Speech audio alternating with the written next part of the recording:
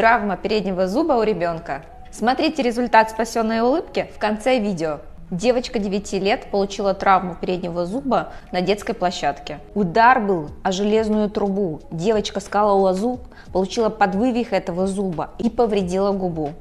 У нас в Dental Fantasy пациенты с травмой принимаются день в день, ведь на счету каждая минута.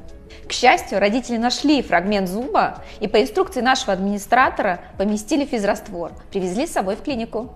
В клинике мы сделали рентген-диагностику, компьютерную томографию, которая обязательно при получении травм зубов. В этот прием мы провели шинирование зуба. Это специальная такая металлическая проволока, которая фиксирует зубы и ограничивает подвижность травмированного зуба за счет того, что он держится за соседние зубки. В этот же визит мы восстановили зуб, приклеили собственный фрагмент зуба и отпустили пациента домой с рекомендациями по уходу.